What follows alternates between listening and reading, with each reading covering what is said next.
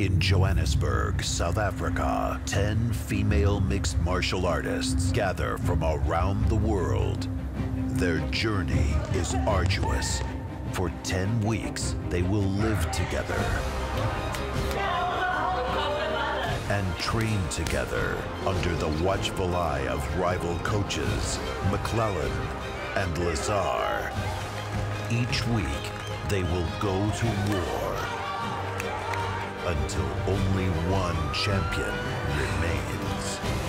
For the ultimate contender, a shot at EFC Women's Flyweight Gold awaits.